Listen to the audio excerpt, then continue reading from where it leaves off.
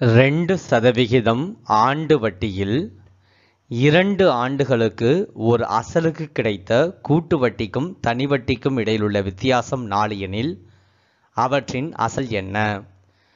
பொதுவாக கூட்டு வட்டிக்கும் தனி வட்டிக்கும் வித்தியாசம் இரண்டு ஆண்டுகளுக்கு கேட்டாங்க அப்படின்னா அதனுடைய formula pi R by hundred whole square.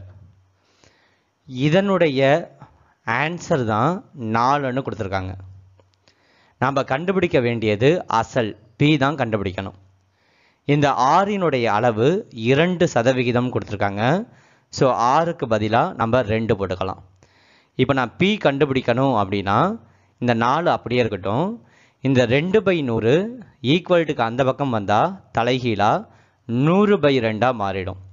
Whole square இருக்கிறதுனால நான் இதை ரெண்டு வாட்டி எழுதிக்கிறேன்.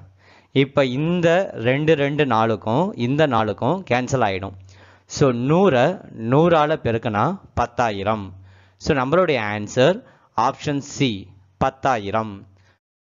இந்த வீடியோ உங்களுக்கு பிடிச்சிருந்துச்சி அப்படின்னா ஒரு லைக் பண்ணுங்கள் உங்களுடைய நண்பர்களுக்கும் இந்த வீடியோவை ஷேர் பண்ணுங்கள் இதே போன்ற வீடியோ உங்களுக்கு ரெகுலராக கிடைக்கணும் அப்படின்னா மறக்காமல் நம்மளுடைய சேனலை சப்ஸ்கிரைப் பண்ணுங்கள் அத்தோட மட்டும் இல்லாமல் உங்களுடைய கணித சந்தேகங்களை மறக்காமல் டெலகிராம் ஆப்பில் கோல்டன் மேக்ஸ் அப்படிங்கிற பக்கத்தில் பதிவிடுங்க.